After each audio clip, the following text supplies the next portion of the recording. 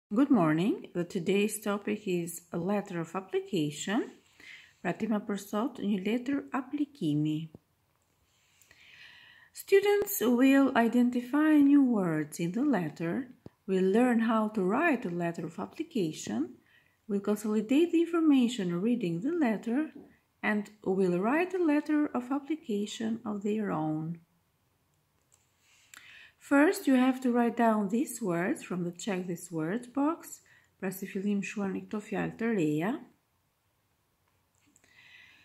So, how to write a letter of application? Si të shkruajmë një letër aplikimi? We write it in a formal style. Ne shkruajmë atë në një stil formal. So, we write a formal greeting at the beginning, starting with dear sir Or madam, if we don't know the person's name, or dear Mister or Missis, if we know the person's name. Pra e filloj me një përshëndetje formale, shkruajmë i dashur zotëri ose zonjë, nëse nuk e dim emrin e personit të cilit po ja shkruajmë, ose i dashur zoti ose zonja, plus mbiemrin e tyre, nëse e dim emrin e personit që po ja shkruajmë.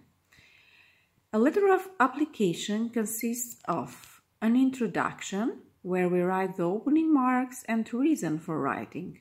Pra ajo përbëhet nga një hyrje ku ne shkruajmë notat hapëse dhe arsyen sepse po e shkruajmë letrën.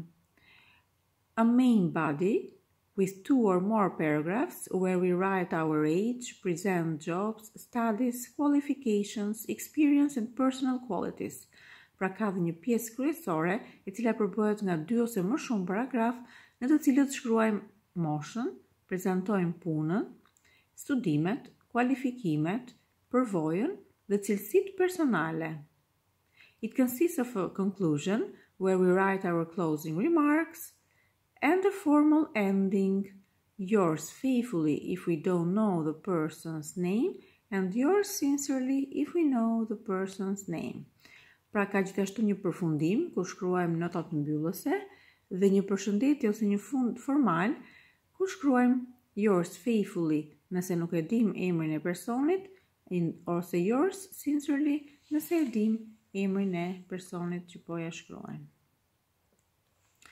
So you have to look at the letter in the text, pra do të shikoni letrën që është në tekst, si shembull, and then you have to do the exercises in exercise 1, so read the letter and in which paragraph does Clara each of the things here, pra lexojmë letrën dhe në cilin paragraf Klara, Paraqet secilën prej gjërave që janë, pra A, B, C, D ose E.